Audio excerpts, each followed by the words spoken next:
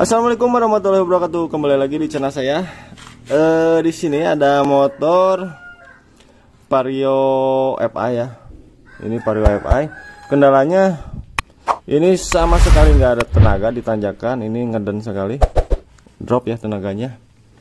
Nah di sini di kampas otomatis di belakang ini pas di langsam atau stasioner ini motor nggak berputar sama sekali ya. Roda belakangnya seharusnya ini yang standar. Waktu stasioner ini harus berputar. Kita coba cek ya.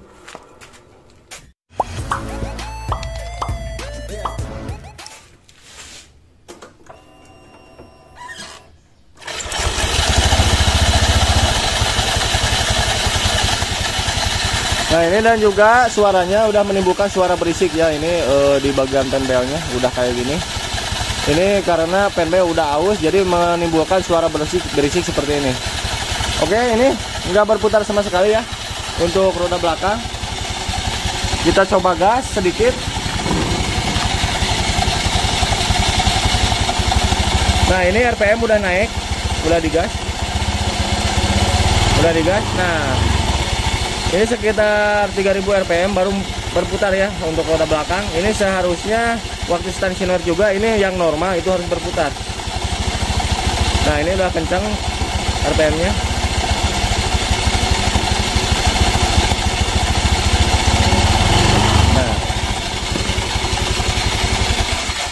jadi sebenarnya ini yang menyebabkan motor ini tidak bertenaga uh, ini di semua matic ya. Enggak termasuk enggak hanya motor vario ini. Ini di semua matic kalau kondisi kampas udah dalam ini bisa berefek di tanjakan. Itu enggak ada tenaga sama sekali atau drop. Dan ini bisa dilihat. Nah untuk penbel udah pada copot ya. Jadi lihat ini udah pada copot seperti ini kondisinya. Jadi ini kendala di motor ini ada e, tiga sebenarnya penbel yang udah aus kayak gini lalu ini otomatis sudah dalam dan uh, untuk seal as bagian kiri ini udah bocor. Oke. Okay? Nah, nah ini yang punya. Gimana, Bapak Batak? Gimana itu? Apes. Apes ya. Oke, di sini ada yang punyanya kebetulan ya. Jadi ini akan kemungkinan besar akan diganti dan ini si kampas otomatis ini bakalan di bakalan buat kampas ya atau pantek. Jadi nggak bakalan beli dari toko. Ini akan saya uh, bikin ulang karena kalau bikin ulang kelebihannya itu bisa menyesuaikan dengan kondisi mangkok ya kalau mangkoknya udah agak dalam jadi kita bisa menyesuaikan ketebalannya dengan mangkoknya jadi itu lebih efektif dan lebih awet sebenarnya kalau dibandingkan kita beli dari toko karena kalau di, dari toko itu ukuran untuk si kampasnya itu udah dipatok ya.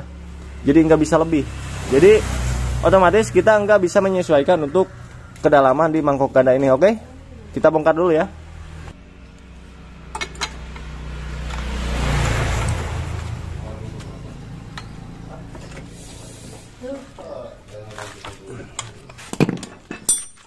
Oke untuk uh, kampas otomatis kita coba kita cek. Nah, udah ketahuan ya kondisinya ini pas pertama dibuka juga ini udah dalam melebihi dari dudukan kampas otomatis ini ya dalamnya. Nah ini udah sejajar malahan lebih dalam ya. Ini dijamin tenaga yakin drop kondisi otomatis udah kayak gini. Jadi ini akan dibikin ulang ya, akan dipantek dan akan dibikin racing. Jadi enggak kayak standar dari pabrik kayak gini. Kan kalau dari pabrik ini untuk diameter dan kelebarannya ini sedikit ya. Nanti akan saya bikin lebih panjang lagi dan lebih lebar lagi ya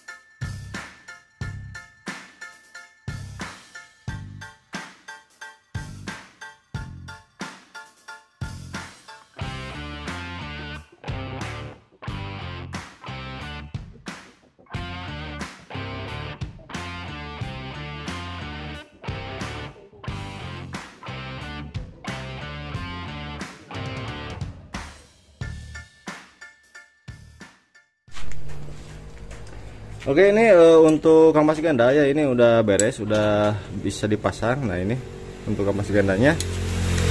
Yang tadi ya ini udah dirapihin dengan menggunakan uh, uh, uh, apa? Dengan menggunakan gerinda ya. Nah ini pinggirannya udah dirapihin. Dan udah dipasin dengan uh, mangkok ganda ini ya. Nah tinggal kita pasang aja. Lalu untuk uh, ring penahan uh, apa untuk versi PT per puli ya. Nah ini kan pernya masih standar. Jadi untuk biar tenaganya lebih jos lagi lebih mantap ya kita ganja dengan menggunakan bekas per ya. Nah ini bekas per dipotong. Jadi ini akan dipasang di sini ya biar nanti eh, pegasnya lebih keras lagi. Dan ke penbel atau pibel ini bakalan lebih nyengkram lagi ya dan ke tenaga juga bakalan lebih enak. Oke? Kita pasang aja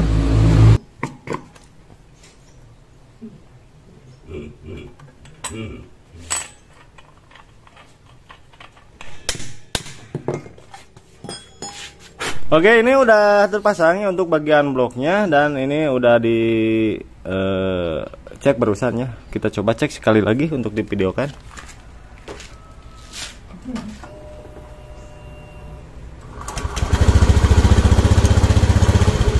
Nah ini untuk kondisi roda belakang ya. Stasioner atau langsam yang normal itu harus seperti ini ya. Jangan kayak gini nih Ini kan nggak berputar sama sekali dan untuk e, digas sedikit juga sekitar 3000 rpm ini belum berputar ya. Kalau seperti ini nih ini baru normal ya. Oke? Okay. ini akan dicek dulu e, sama yang punya ya. Nanti kita tanyakan perbedaannya. Diperbaiki dan setelah diperbaiki ya oke okay, kita suruh yang punya untuk e, mencobanya dulu. Jadi nanti kita akan tanya-tanya ke yang punyanya. Oke okay, tak silakan tak dicoba dulu tak. Nah ini yang punyanya. AA Batak Coba dulu. Coba dulu ah uh, ketanjakan ah.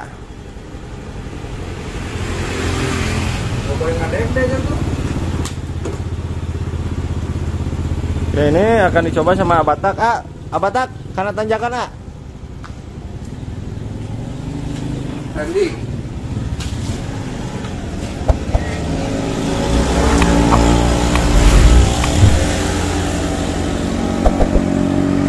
Nah, dan ini yang punya udah datang. Gimana sekarang Abatak perbedaan uh, tadi sama sekarang? Bagus. Uh, tenaganya gimana sekarang? Wah. udah loncat-loncat? Jingat-jingat oke. Katanya ini udah normal udah jos ya untuk tenaganya. Oke jangan lupa like share komen dan subscribe. Mantap